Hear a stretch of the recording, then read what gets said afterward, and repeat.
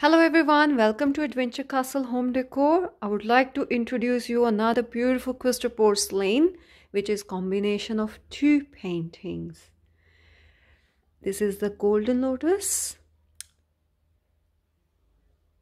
Look at this beautiful pattern of the painting and the beautiful combination of the colors. Such amazing painting. So the size of each painting is 40 by 80 centimeter. So if you combine it together, it will make a big, huge painting, 80 by 80 centimeter. And if you put a little bit gap in between, it will give a little bit more wider look. You can imagine how beautiful it's going to go in your home, office, or at your workplace. Have a look. Don't miss out this beautiful painting on a very reasonable price.